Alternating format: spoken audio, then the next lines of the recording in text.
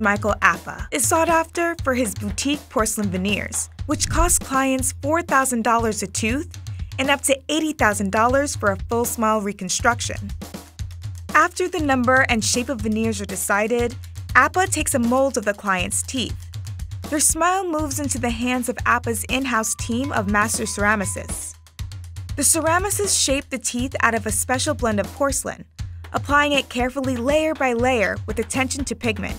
The overall effect so closely mimics natural teeth that when inserted, there'd be no reason for the average person to believe the teeth are anything other than real. Clients can expect their designer smiles to last anywhere from 15 to 20 years.